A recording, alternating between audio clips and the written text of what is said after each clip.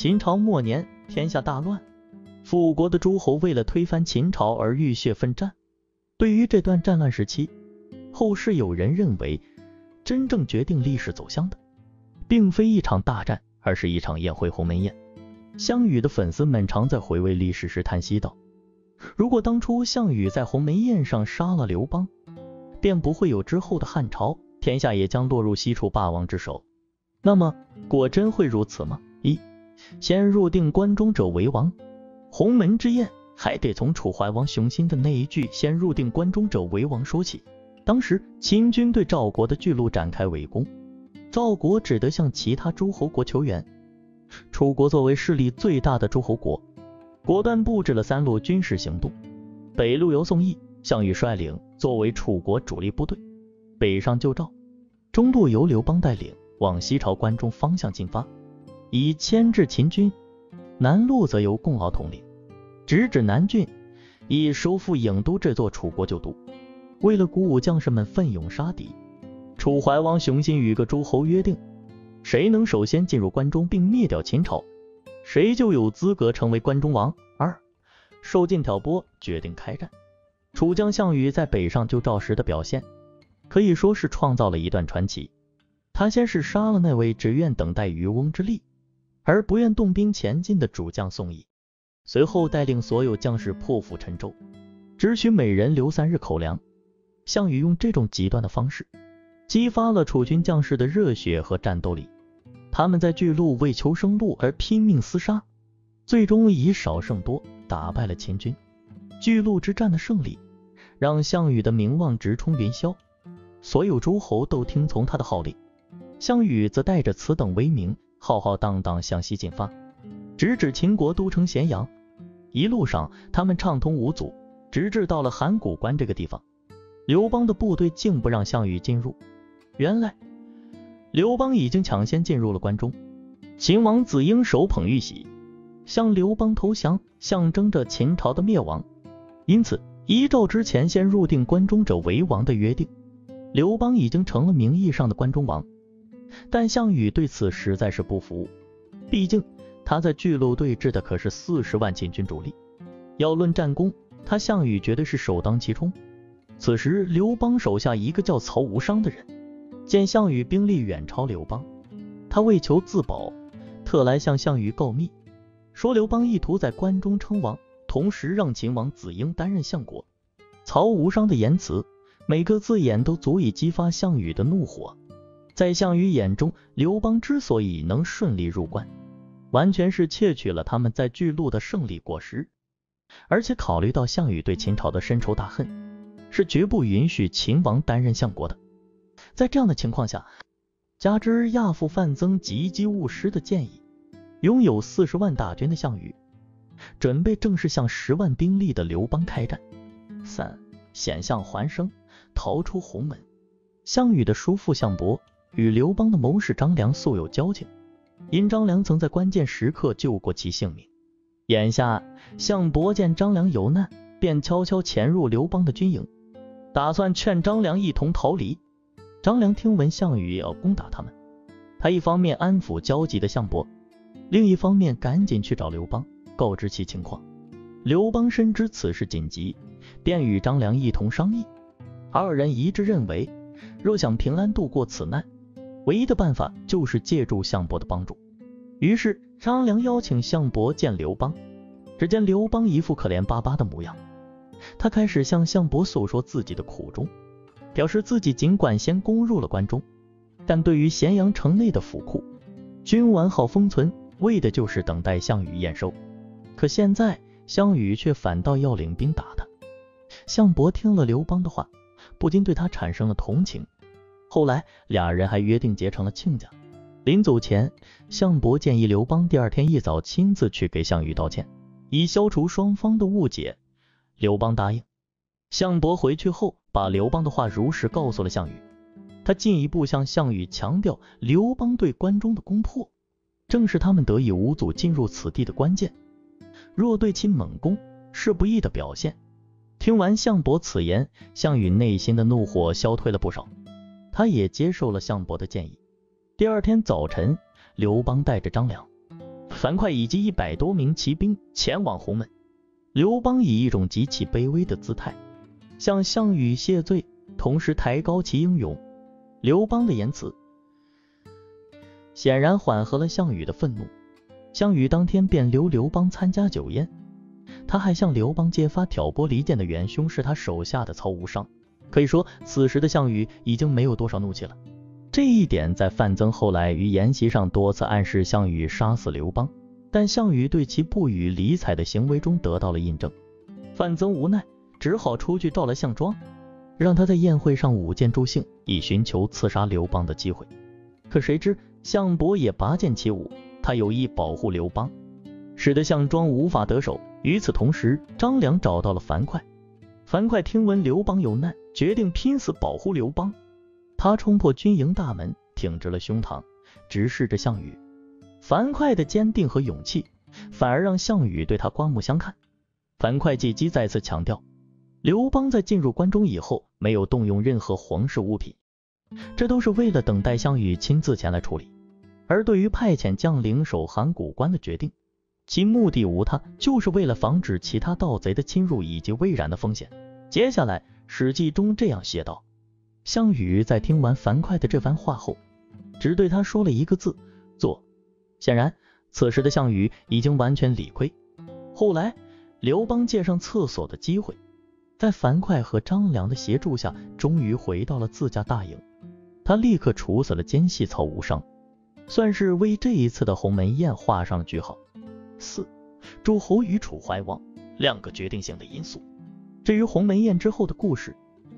相信诸位都有所了解，天下逐渐形成楚汉相争的形势，最后以项羽无将自刎而告终。刘邦则是笑到了最后，建立了大汉王朝。然而，历史的发展总是充满了偶然性，这也给我们留下了许多如果。有些历史爱好者就提出了一种假设：如果项羽当初在鸿门宴上杀死了刘邦，那么最终的赢家是不是就成为项羽了呢？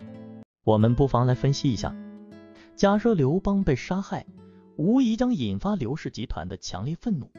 作为镇守后方的萧何，在得知这一悲剧后，定会拥立刘邦的长子刘盈继位，接着再以项羽背信弃义为由对其讨伐。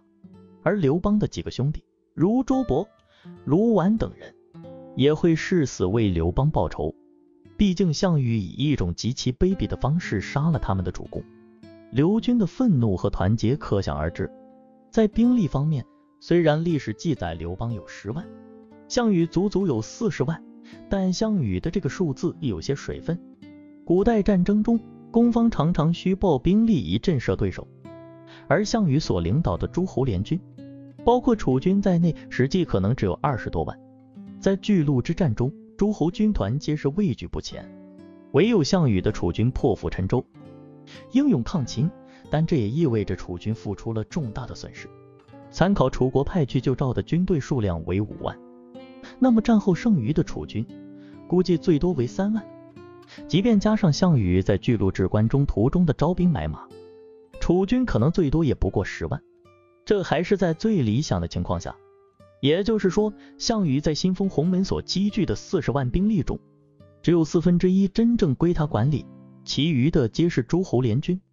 考虑到诸侯的一贯作风，当他们得知项羽杀了刘邦，诸侯可能会像在巨鹿之战中一样坐山观虎斗，以收渔翁之利。因此，虽然表面上项羽与刘邦的兵力比例为四一，但实际上双方真正能够投入战斗的兵力，并无太大差距。不过，以项羽本人和楚军的战斗力，他们仍有实力击败刘氏集团，但至少这场战斗将使楚军付出极大的代价。诸侯们的决定在这时候就显得尤为重要。早在巨鹿之战开打以前，诸侯们就并不看好项羽，他们认为项羽资历尚浅。而当项羽赢得巨鹿之战后，其中又有不少诸侯并非真心服从，他们认为项羽只是走了一回运罢了。所以还有一种可能，即在项羽刺杀刘邦后。可能立刻引发诸侯们对项羽的反抗，毕竟刘邦才是真正结束了秦朝的人。项羽此举实在是不易，诸侯们会通过项羽过河拆桥、杀害盟友的行为，映射到自己的身上，项羽连结拜兄弟刘邦都敢上，更别提他们了。这意味着项羽所谓的四十万大军中，将有近三十万的人马转身对其发起进攻。那么，在这样的情形下，最大的得利者是谁呢？楚怀王熊心。虽然熊心远在彭城，但他实际上才是项羽入关后的真正敌人，甚至比刘邦更为关键。在项梁统治时期，熊心一直扮演着傀儡的角色，看着像是家族掌控实权。终于，熊心熬到了项梁离世，他于是赶紧抓住机会，首先迁都彭城，随后开始压制项家。试想一下，倘若熊心并不渴望权力，他完全可以继续重用项羽，但是他没有这样做。在派兵北上救赵时，他特意任命自己的亲信宋义为主将，项羽则被排在了次将的位置。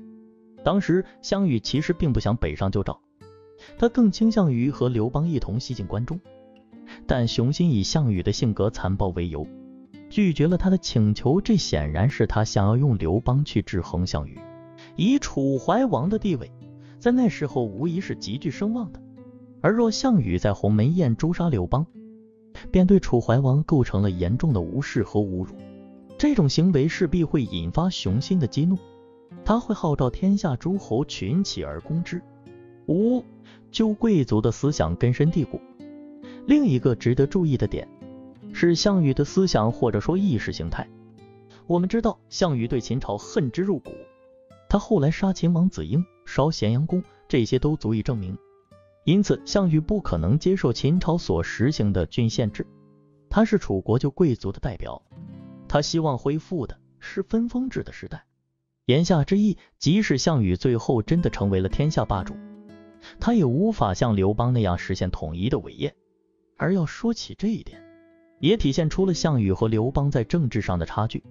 刘邦在秦王子婴投降后，并未杀他，反而以仁义之心接纳他，重用他。到了后来建立汉朝时，刘邦吸取了秦朝制度的经验和教训，在郡县制的基础上，开创了郡国并行制。历史告诉我们，以仁义之心方能服众。若以武力压制，或许可以统治一时，但最终只会引发更大的反抗。以项羽残暴的性格来看，纵使他成为了赢家，华夏大地恐怕也将在不久之后再次陷入混乱。在古代封建统治时期，几乎每一次皇位更迭都会引起一场血腥屠杀。为了争夺国家政权，父子兄弟的血缘关系根本不算什么。在如此残酷的王位争夺中，胜利者永远会得到想要的一切，哪怕用尽了狠毒手段，也能从历史中抹去他身上难以启齿的过往。然而，有些皇帝根本隐藏不掉过去的毒辣行为。最明显的例子就是唐太宗李世民。李世民是一位有勇有谋、开创出贞观之治的明君，他的功绩值得赞扬。但他逼兄杀父的狠毒手段也常常被往后的人们所批判。事实上，在玄武门事变中，李世民射杀李建成后，不仅砍下了其兄长李建成的首级，还犯下了唐朝史书不敢记载的丑闻。那么，这起事件到底是什么呢？一李世民无缘太子之位。公元六百一十八年，长安，隋恭帝下旨禅让帝位，李渊在太极殿即位，从此一个新的王朝唐朝诞生了。众所周知，古代的王朝统治时期，每个皇帝在位时都会选出一个准皇帝，即太子。不过，说到立太子，这并非易事，往往需要考虑多方面的因素。对于许多皇帝而言，这是一个十分棘手的问题，因为太子的选定不仅关系到皇位继承问题，更涉及到政治稳定和国家长治久安的问题。现在刚刚带人征伐疆域、即位为帝的李渊就被这件事情困扰。李渊想着自己引以为傲的两个儿子闲日沉思，一个是最宠爱的嫡长子李建成，另一个是次子李世民。年纪轻轻就立下赫赫战功，可太子只能有一个，到底应该让谁当太子呢？考虑了许多因素之后，李渊还是觉得立李建成为太子最为妥当。随后封次子李世民为秦王，三子李元即为齐王。大概是李渊觉得亏欠了儿子李世民，不仅封他为秦王，还封他为太尉、尚书令、将军，还说自己现在的官职并不能将李世民的才能展现的淋漓尽致，甚至还史无前例的亲授了天策上将的封号，地位非常的高。或许李渊认为，通过这样的安排，他可以尽力调和兄弟之间的矛盾。然而，事情真的如此简单吗？太子会容忍一个声望和实力都比自己高的人伴随左右吗？而功勋卓著、为唐朝屡立奇功的李世民会甘愿做一个秦王，忍受着随时可能性命不保的现状吗？接下来，李世民的一系列操作让所有人都惊诧不已，甚至唐朝史书都不敢写。二，李世民的野心。历史中，李渊是一个好色无用的昏君。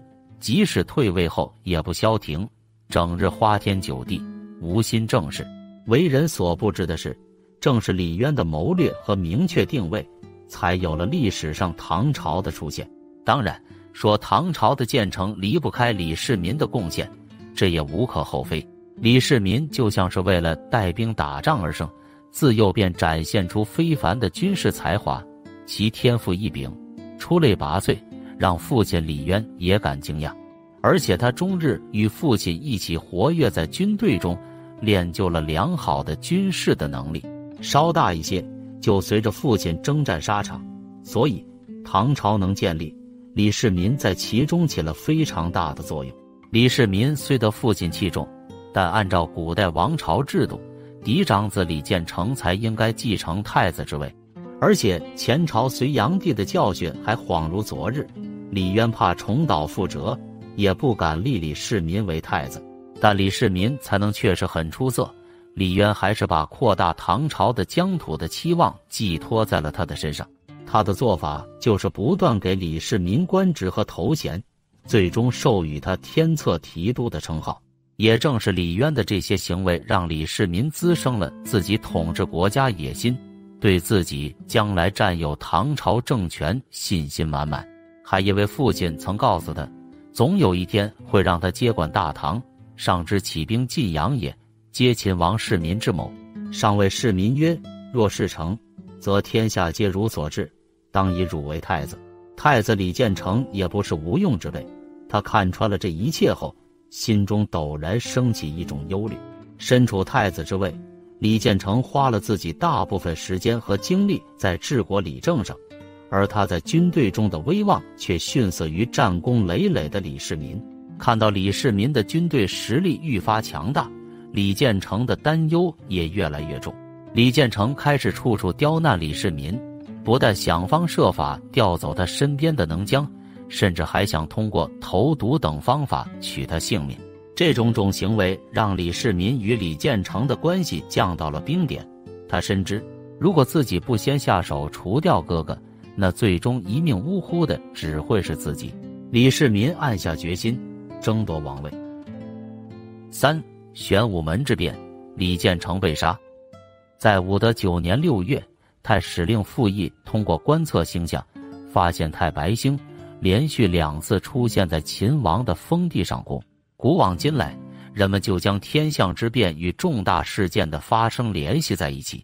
于是，傅毅将此事密告给了李渊，并声称秦王李世民将会成为天下的统治者。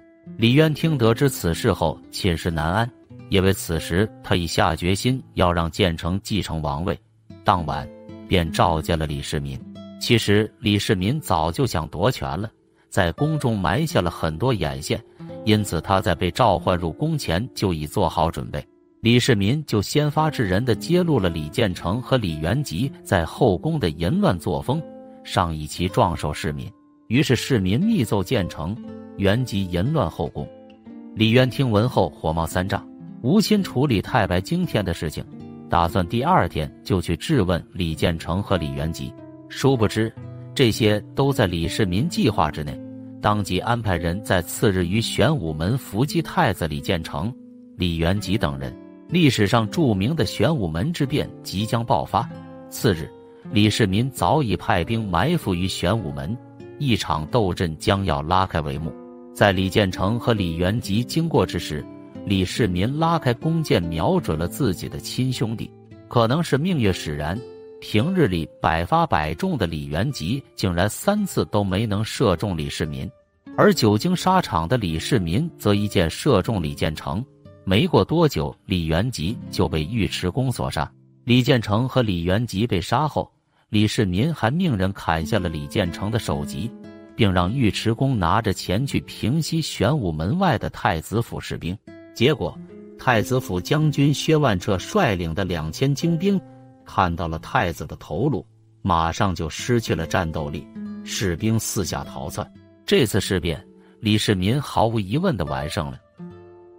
四，李世民的狠毒。李世民称帝后，任用贤能，起于政事，造就了唐朝盛世。单看这方面，李世民是一位出色的君王。但从人性角度来看，李世民如此对待自己亲兄弟，就有点难以接受了。结合大量史料以及当时相关人士的口述资料，唐书里记载的事件，恐怕和真相相去甚远。玄武门事变后。李建成的家人，包括子嗣，全部被处决，罢免了家族成员的宗籍，为来之不易的皇位永绝后患。齐王李元吉的后代也一个都没有被放过，统统诛杀。李世民还占有了一些李元吉的后宫佳丽，其中杨氏还给李世民生了一个儿子曹王李明。这些是唐朝史书上从来没有记录过，也许是当时的人不敢记录。由于史书的记载通常会突出当时皇帝的伟大，不会把一些黑暗的事件记录在册，直到后来的朝代史官才将这件事记载在史书上。唐书中描述的李渊和他的儿子们，正是李世民处理这一不可磨灭的污点的方法。这种方法体现了李世民的险恶狡诈。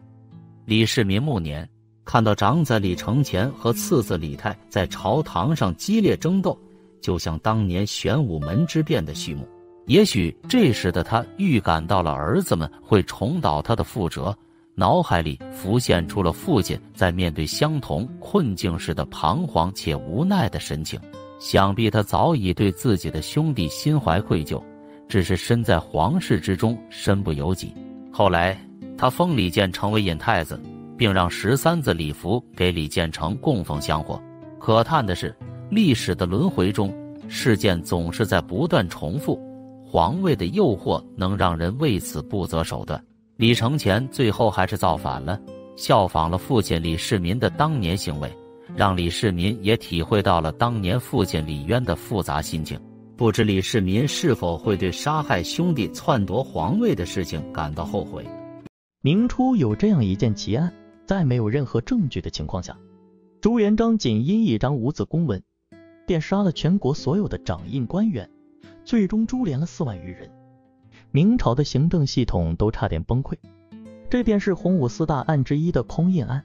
那这是官吏们试图造反篡权，像蓝玉案、虎惟庸案一样吗？不是，那是官僚贪污腐化，欺上瞒下，像郭桓案一样吗？也不是。这一切其实是一误会，而朱元璋呢，也知道这是一场会。但他选择用四万人作为他理想的祭品。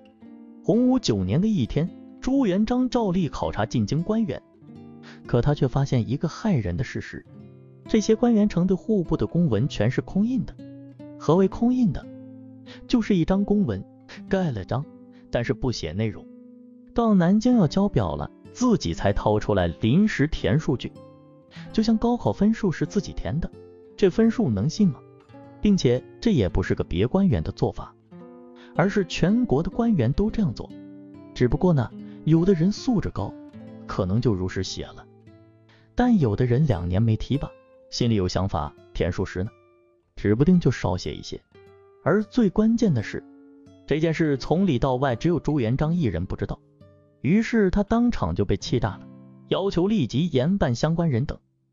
那官员们为什么要用空印糊弄朱元璋呢？要知道，朱元璋可是喜欢没事把人剥皮活剐的大名猛男，官僚们这样同站起来对付他，是真的活腻了吗？其实啊，官员们也是被逼的，而逼他们的就是明朝的财政制度。在明初，各省每年年底都要派人带着账本到京城的户部报告年度收支情况，比如说收了多少粮、多少税，又有哪些亏空，多的呢就转移支付其他困难省份，少的就由中央财政统一补足。这听起来很好是吧？但理想的火车与现实就此开始脱轨，因为所有账簿必须和户部审核一致才能通过，哪怕差一分钱也得重新写、重新造册。而古代一省的钱粮数据量又极大，还是手工做账，所以有几处纰漏也很正常。可能你觉得那就重新造册吧，但是在当时的政策下，你要新造册就必须回到原地方机关重新盖印。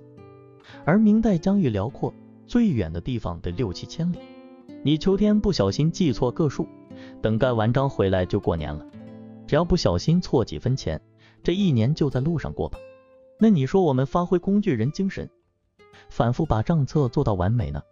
答案是也不行，因为钱粮在路上会有损耗，比如路上下雨，几袋米发霉了，这怎么办呢？数字又对不上了，难道为几袋米又花几个月跑回去？于是呢，官吏们想出了变通办法，就是先拿几张空白公文盖好章，等钱粮运到了，有多少就填多少，这也为国家降低了办事的成本嘛。尽管朱元璋为此事震怒，可官吏们也没太当回事儿。大家都这么干，正所谓法不责众，你总不能把我们全部做了吧？要是搁其他皇帝呢，可能真就睁一只眼闭一只眼过去了。但很可惜，他们碰到的是猛男朱元璋。你们以为人多我就不敢动手是吧？于是朱元璋直接下令把全国十三个省、一百四十多个府、一千多个县的主印官员全部斩首。当场就杀了一两千人，而由此株连被杀的人多达四万。彼时整个奉天殿弥漫着血光，明朝的行政系统差点因此崩溃。尽管朱元璋出了口恶气，但同时也误杀了许多好人，比如著名的清官方克勤。方克勤有多清廉呢？他一件布袍穿了十年也没换新，身上都是补丁，平时肉也舍不得吃，因为为官清廉。百姓纷纷歌颂他为我民父母，而这样的人也要被牵连斩首。当时朝堂上的丞相大夫、帝国贵胄，明明知道方克勤这样的人是无辜的，但全部慑于朱元璋的淫威，竟没有一个人敢说话。而这时，一个穷酸秀才站了出来，他说呢，他要为天下人鸣不平。此人名叫郑世礼，他给朱元璋上书，直言说，所谓空印只是制度规定太死。大家变通的权宜之法，况且国家立法必须明示天下后再治罪，而陛下建国后从来没立法禁止过，大家都不知道这件事违法就要因此被杀头，这合理吗？大家服气吗？况且现在国家培养一个可用之官，动辄需要数十年，而现在像割草一样杀了，这像话吗？于国有利吗？朱元璋看了大怒，马上派丞相御史质问。谁指使你的？你有什么目的？你的同党还有谁？可郑世立呢？轻蔑的笑了。臣没有同党，自知必死，臣只为天下人直言。朱元璋沉默了。他不傻，他知道郑世立说的是实情，但皇帝哪怕是错的，你也不能说。于是他把郑世立发配到江浦去劳改。可能在当时人眼里，郑世立是个不顾前程的愣头青，但他的书生义气感动了一个人。此人呢，就是《明史》的修撰者张廷玉。他在《明史》里单独给郑世立列了传。于是郑世立一个落魄秀才，竟能和皇亲国戚、帝王将相一同载入史册，这是何等的荣耀！那朱元璋疯了一样罢官杀人，难道真就是因为他嗜杀如命、权欲熏天吗？其实朱元璋是少有的一代雄主，他很清楚他在干什么。他的所作所为，其实都是在试图解决明朝面临的一个根本性的制度困境，这就是正式制度和非正式制度之间的矛盾。就空印案而言，明廷需要正式的财政制度，精准的搜集地方数据。如果任由你乱填，层层上报的数据都有问题，那么朝廷对整个国家就失控了。但因为明朝疆域太大，又不能一刀切，为了符合现实需要，降低行政成本。官员呢，又需要用空印这样的非正式制度灵活调节，而空印案就是正式制度和非正式制度这组矛盾的深刻体现。空印案后设于朱元璋的屠刀，大家心怀戚姬，就多跑几趟解决问题。但后面又固态萌发，因为实在太麻烦，于是朱元璋死后，空白公文呢又流行了起来。在那个时代，注定解决不了这个问题。细数朱元璋后半生，他做了很多事儿，一件比一件动静大，但效果呢，一件比一件差。他是真的想为子孙谋万世基业。只是历史最终让朱元璋给他开了个玩笑。